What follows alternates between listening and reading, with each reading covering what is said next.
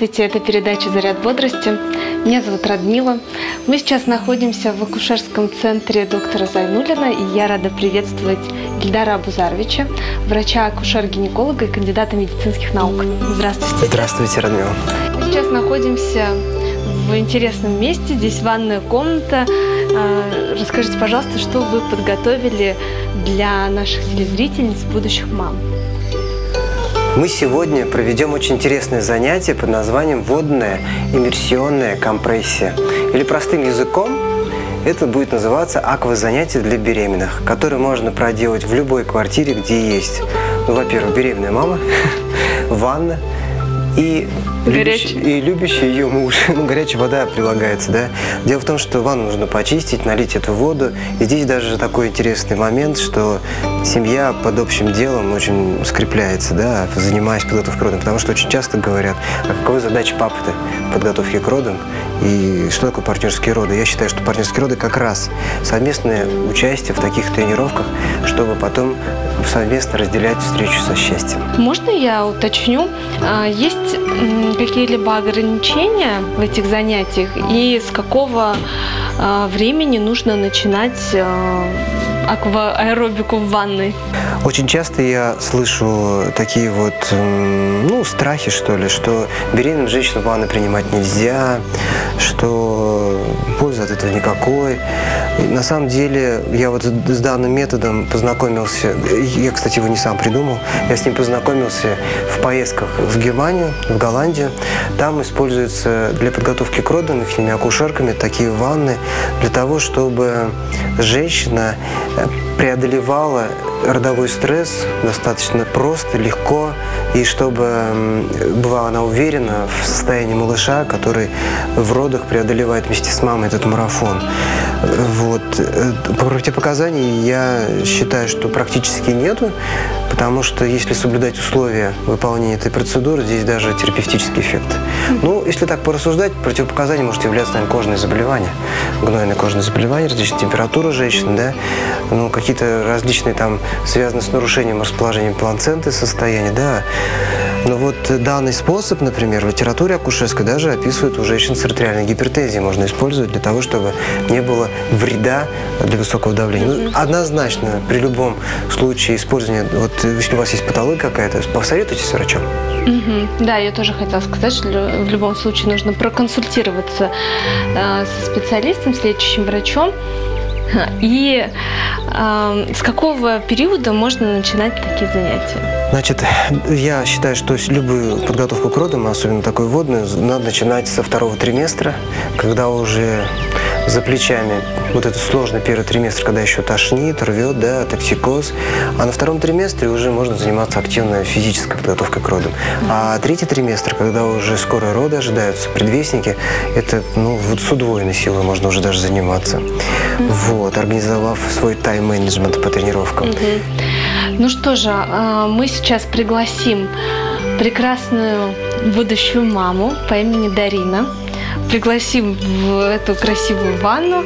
И э, если вы ждете ребенка, присоединяйтесь к нам и занимайтесь вместе с нами.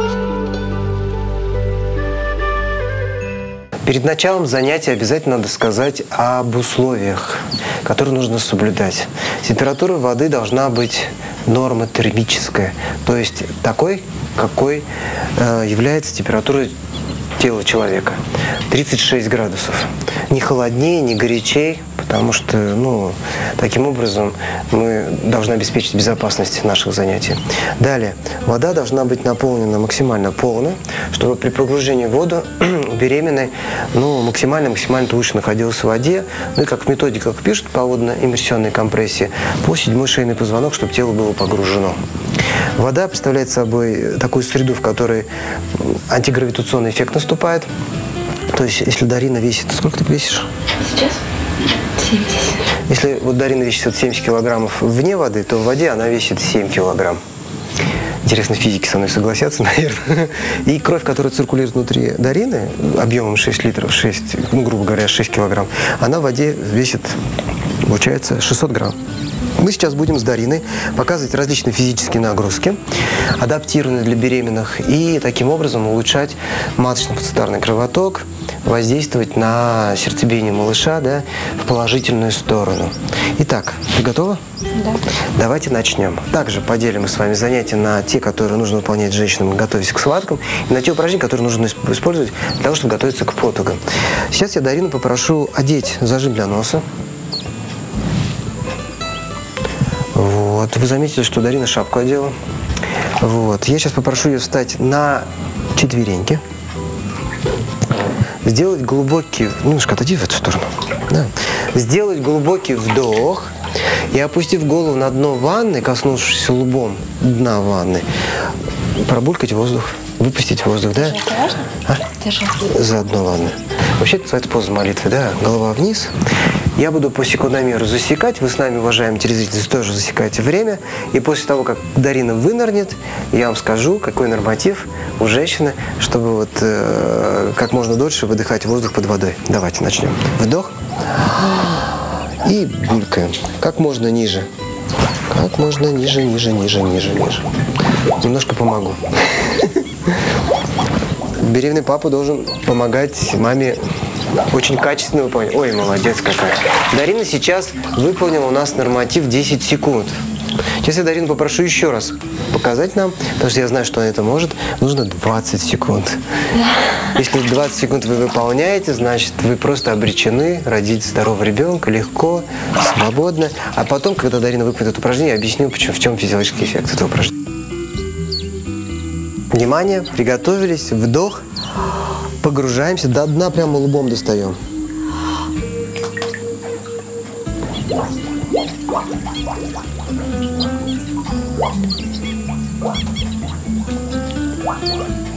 Десять, одиннадцать, двенадцать, тринадцать, четырнадцать, пятнадцать, шестнадцать, семнадцать, восемнадцать, девятнадцать, двадцать, двадцать один, двадцать два, двадцать три. У тебя, Дарин, даже запас прочности есть еще. 23 секунды мы сделали это упражнение. Значит, можно сказать, что ты умеешь выполнять треугольное дыхание в воде, да? Молодец. Есть такое повивальное выражение, что роды нужно превратить в сплошной выдох. Мы сейчас с Дариной уподобились ныряльщицами за жемчужинами. Говорят, что ныряльщицы за жемчужинами, такая древняя профессия, да, очень хорошо рожали. У нас все-все-все девушки, которые ходят в наш центр, да, учатся в воде, в бассейне выполнять это упражнение. Но здесь еще есть один нюанс. Я сейчас Дарину попробую, попробую с Дариной выполнить это упражнение еще на боку. А сейчас мы упражнение повторим на боку на левом, на правом и на спине. Давай, Дарина, начинаем. Вдох. Я буду Дарине помогать. Это может выполнять беременный папа.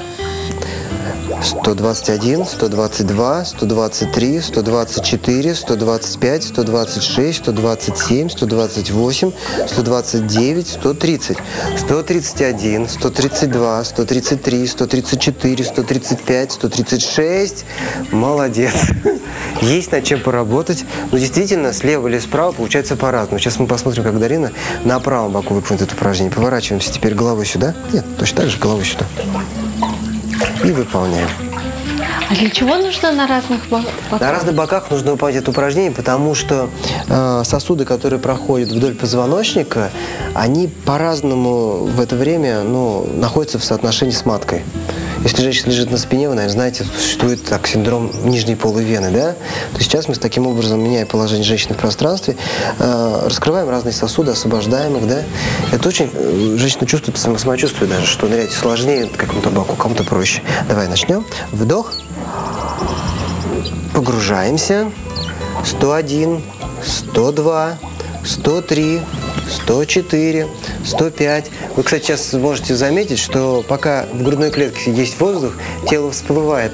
Когда качественно выполнено упражнение и воздух весь был выдохнут, то беременная не всплывает, лежит на дне. И сейчас вы увидите, когда мы будем делать упражнение на спине. Как самочувствие?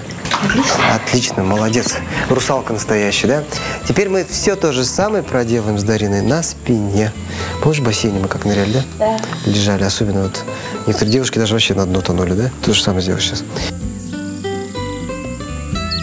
Ну, я так думаю, наверное, без моей помощи, да? Или, или тебя топить? Давай, поехали. Вдох.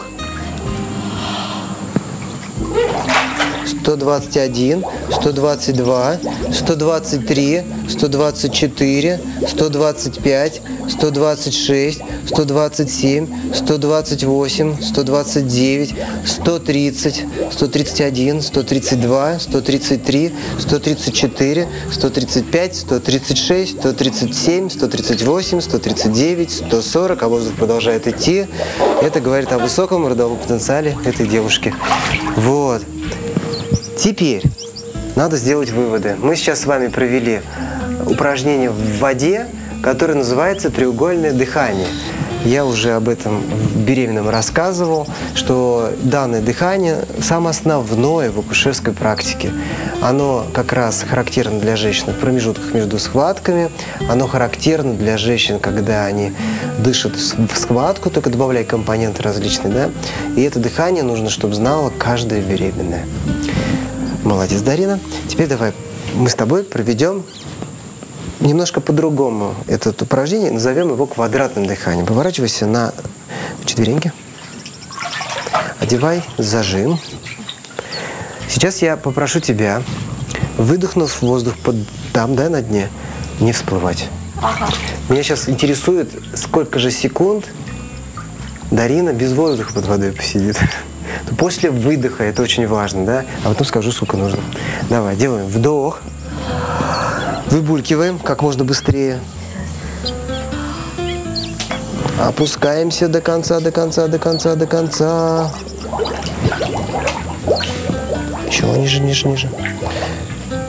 И когда воздух не идет, раз, два, три, четыре, пять, шесть, 7. Молодец. Уже 7 секунд достаточно, чтобы говорить о том, что у Дарины высокий родовой потенциал.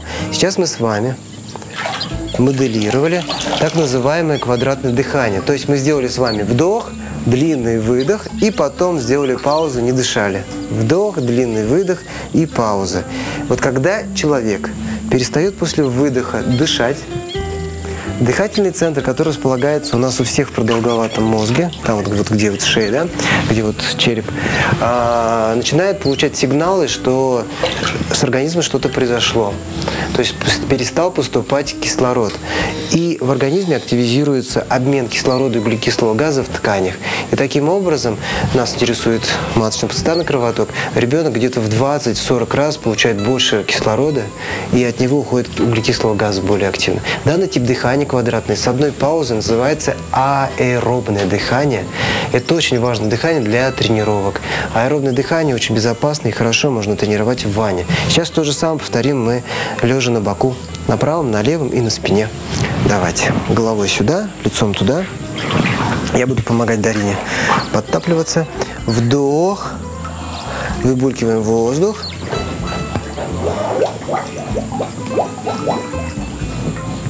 Еще, еще выбулькивай.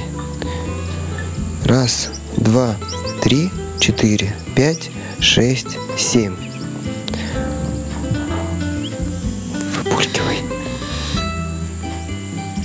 Мне создалось впечатление, что Дарина не весь воздух выдохнула. Очень важно, здесь, наверное, ты специально, да, телезрительницам показала, что воздух надо выдыхать полностью. Да. Если бы ты выдохнула воздух, я бы тебя вот так вот, как поплавок, не толкал. Да. Поворачиваемся лицом сюда. И постарайся выдохнуть качественно весь воздух. Делаем вдох. Выбулькиваем. До конца выбулькиваем, выбулькиваем, выбулькиваем. Еще, еще, еще, еще, еще, еще, еще, еще, еще, еще, еще, еще, еще, еще, еще, еще, еще, еще, еще. Еще, еще, еще вижу, воздух есть. Чувствую, всплывает, да? Вот вроде не всплывает теперь. Раз, два, три, четыре, пять, шесть, семь, восемь, девять, десять. Молодец. Как самочувствие? Чувствуешь нагрузку, да? А теперь мы сделаем то же самое на спине.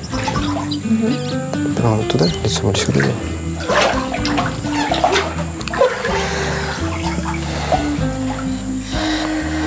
Подожди, сейчас знаешь, как можно сделать? Можно выдохнуть тут и лечь.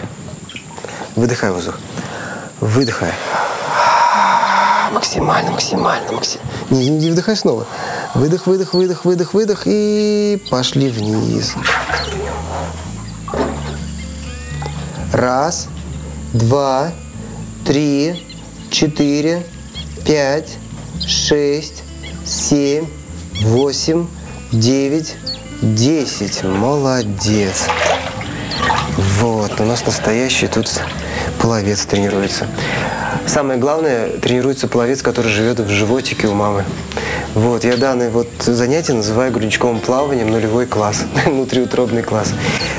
Так, сейчас я э, с Дариной показал вам аэробное квадратное дыхание, а сейчас Дарина вам изобразит анаэробное квадратное дыхание, то есть наш организм, наши Э, клетки могут дышать еще самостоятельно, без участия кислорода, потому что есть запас с помощью э, так называемого гликогена, животного сахара. Да? Мы сейчас Дарину попросим сделать вдох, погрузиться под воду и ничего не делать. Потом, когда пройдет 7 секунд, выдохнешь воздух и опять не торопишься вылезать, посидишь 7 секунд. Получается, мы сделаем сейчас две паузы. После вдоха и после выдоха. Поняла, да? Сейчас на корчики встаем. Делаем глубокий вдох. Под воду погружаемся и сидим. Раз, два, три, четыре, пять, шесть, семь. Начинаем выдыхать. А после выдоха сделаем еще паузу 7 секунд.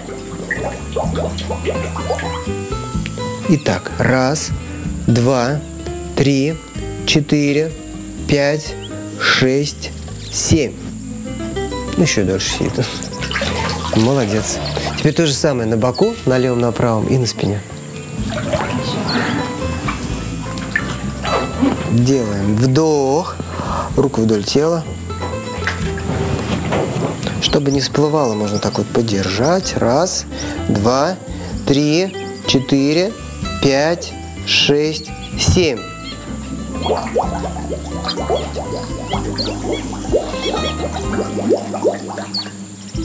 Теперь раз, два, три, четыре, пять, шесть, семь. И входим. Молодец. И с другой стороны сейчас. Поворачиваемся, повторяем то же самое.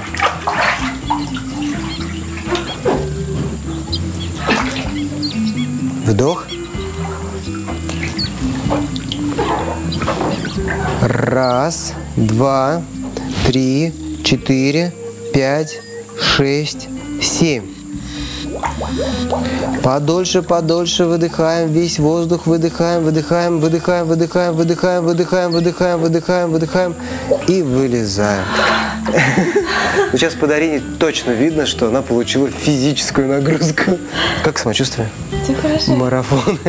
Ну, я знаю, что после таких упражнений, когда доктор слушает сердцебиение малыша и снимает КТГ у ребенка, у здорового ребенка, у здоровой мамы всегда учащается дыхание, ой, сердцебиение. Это показатель высокой устойчивости ребеночка к, к физическим нагрузкам, которые он будет получать во время родов. Но мне кажется, вы все телезрители увидели, что Дарина сейчас реально уже как будто марафон пробежал. Молодец. Теперь еще на спине осталось. Вдох. Погружаемся. Лежим. Раз, два, три, четыре, пять, шесть, семь. Выдыхаем, выдыхаем, выдыхаем, выдыхаем, выдыхаем. Раз, два, три, четыре, пять, шесть, семь. Молодец. Как самочувствие? Все хорошо, да? Сейчас мы с Дариной показали анаэробное квадратное дыхание. То есть мы делали две паузы до выдоха и после выдоха. Вот. Данный вид физической нагрузки очень эффективен для подготовки ребенка к родам и мамы, да.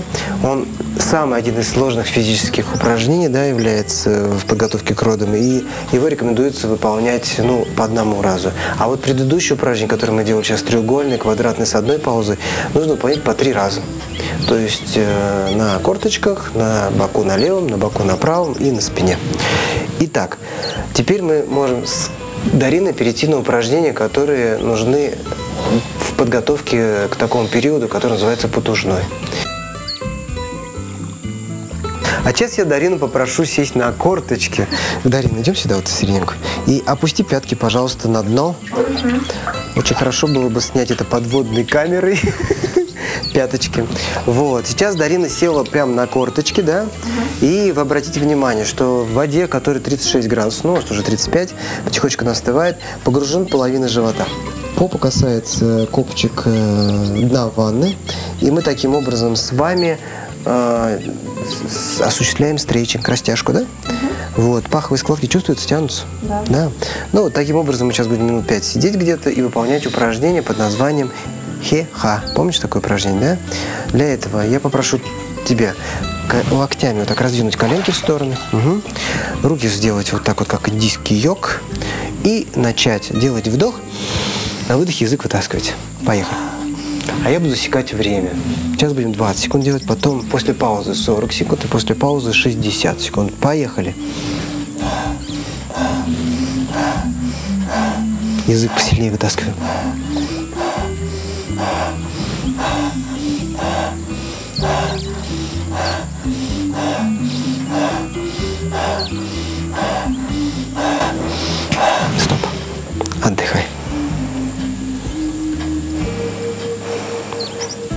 Самочувствие? Хорошо. Мы сейчас с вами дышали дыханием хиха, которым дышат женщины в родах, когда находятся в состоянии подука, когда охота очень сильно тужится, а тужится пока еще рано. Данное упражнение позволяет смоделировать ситуацию, когда у женщины во время этого дыхания может закружиться даже голова вследствие большого поступления количества кислорода. И у акушерок есть практический совет. Сейчас мы будем с Дариной дышать 40 секунд точно так же, но ладошками сделав лодочку, ты вот так вот закроешь свое лицо, и будешь дышать в эту лодочку. В этой лодочке будет как раз собираться количество углекислого газа нужное для того, чтобы не было головокружения. Поехали, потуга пришла. А я буду 40 секунд отчитывать по часам. Можешь глазки закрыть. А почему важно высовывать язык? Язык очень важно высовывать для того, чтобы тянул след, за языком пищевод и, как следствие, диафрагма наверх, потому что язык, пищевод и диафрагма между собой соединены. А диафрагма как раз участвует э, в желании тужиться. Это такая мышца, которая человеку позволяет вытужить ребеночка. А сейчас акушерка просит Дарину не тужиться как раз, чтобы ребенок бережно, бережно, не травматично опускался на тазовое дно. Молодец. Все. Как самочувствие? Все хорошо, да? Сейчас немножко отдохнем и сделаем кульминацию этого упражнения. 60 секунд попросим Дарину дышать дыханием хиха. Периодически показывай язычок, что ты правда его вытаскиваешь. Можно? Что? Можно? Кого? Дышать. Сейчас Отдохнула? Ты не устала? Ну что, давай, поехали тогда. И начали.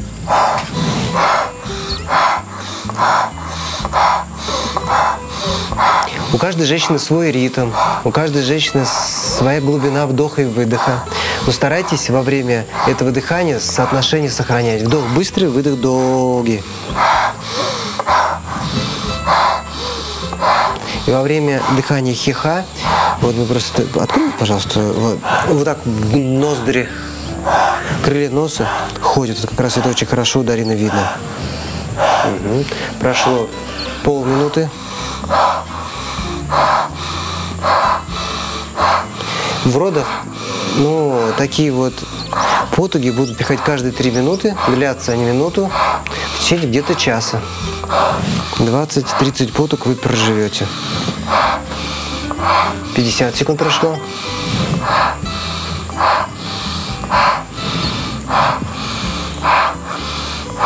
Ну и минуты за плечами. Все. Стоп. Как самочувствие? Все хорошо.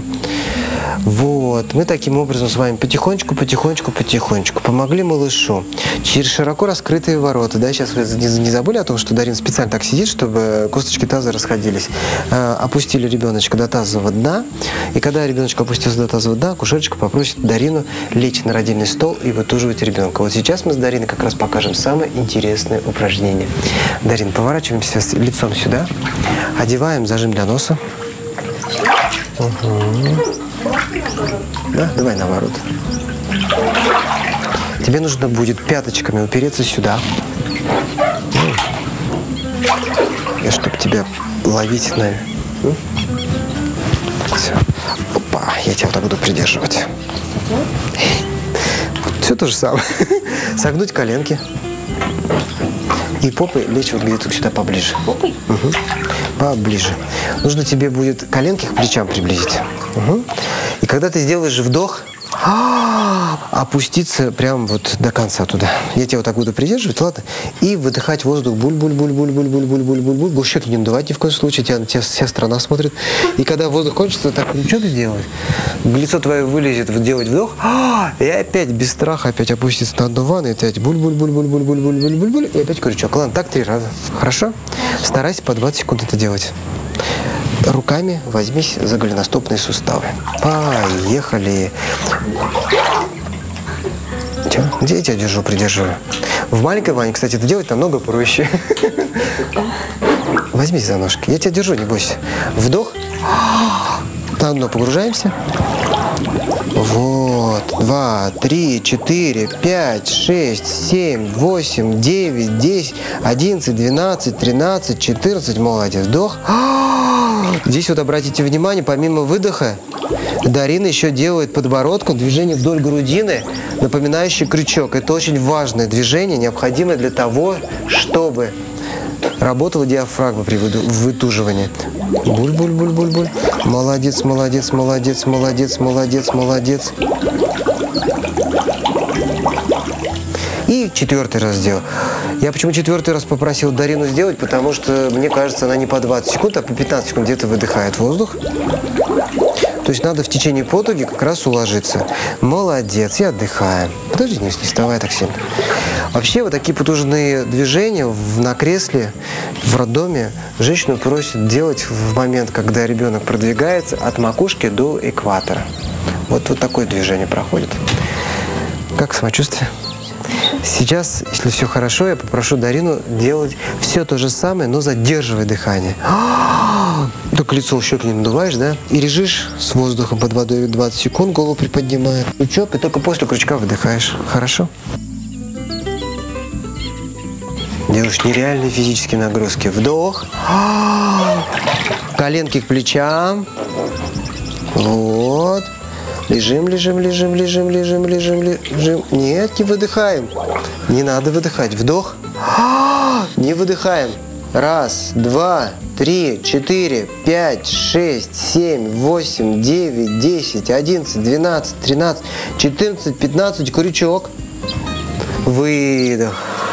Вдох. Раз, два, три, четыре, 5, 6, 7, 8, 9, 10, 11, 12, 13, 14, 15. Крючок. Выдох. Раз, два, три, четыре, пять шесть семь восемь девять десять одиннадцать двенадцать тринадцать четырнадцать пятнадцать Крючок, выдох. И четвертый раз. Раз, два, три, четыре, пять, шесть, семь, восемь, девять, десять, одиннадцать, двенадцать, тринадцать, четырнадцать, пятнадцать. Крючок. Выдох. Молодец, Дарина. Все то же самое можно повторить на спине и на боку. Дорогие беременные, сейчас мы с вами провели упражнение в воде под названием водная иммерсионная компрессия.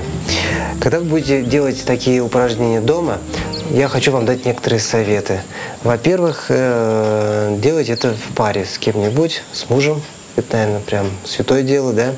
И когда будете выполнять это упражнение, заранее выпейте стаканчик воды. Таким образом мы с вами будем раздражать рецепторы желудка. И сходите в туалет потому что опорожнив мочевой пузырь, мы раздражаем рецепторы мочевого пузыря. Вот это действие очень важно для того, чтобы в вашем головном мозге, в гипофизе, начались процессы выделения гормонального коктейля, которые необходимы для подготовки к идеальным родам. Вот. В этом секрет, наверное, водно-компрессионной терапии как раз и заключается, что мы с вами помимо использования свойств воды антигравитационных еще воздействуем на гормональный фон, на выделение гормонов, которые необходимы в родах. Далее, обязательно перед занятиями проконсультируйтесь своего акушер-гинеколога о том, что можно вам заниматься в воде. И если вам акушер-гинеколог разрешил, то можете заниматься два раза в неделю, лучше всего вечернее время. Еще очень важный момент, можете во время занятия выключить свет в ванной комнате, включить свечи. Доказано, что свет горящей свечи способствует также лучшему воздействию на выделение гормонального коктейля, который необходим в родах. Будьте здоровы, мягких вам родов. Пока-пока.